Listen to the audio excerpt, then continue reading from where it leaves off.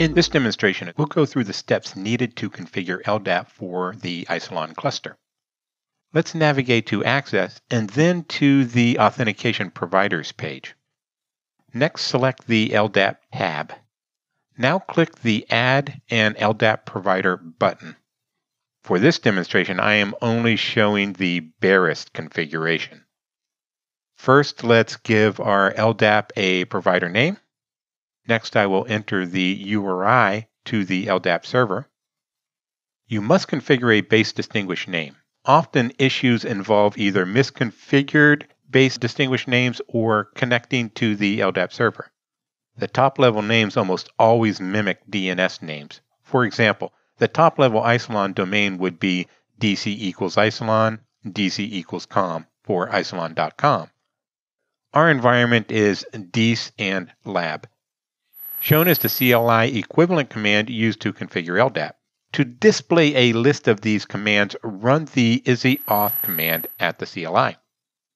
And that is the most basic configuration. Now, before connecting to an LDAP server, you should decide which optional customizable parameters you want to use. If there are any issues while configuring or running the LDAP service, there are a few commands that can be useful to help troubleshoot. The LDAP search command runs queries against an LDAP server to verify whether the configured base DN is correct. The TCP dump command verifies that the cluster is communicating with the assigned LDAP server. You have the option to enter a net group.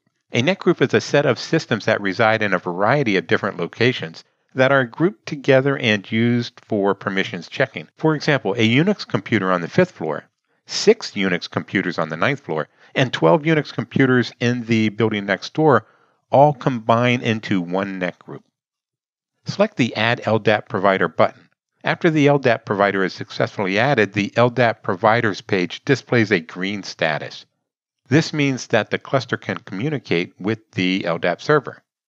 Note that Active Directory and LDAP both use TCP port 389. Even though both services can be installed on one Microsoft server, the cluster can only communicate with one of the services if they are both installed on the same server.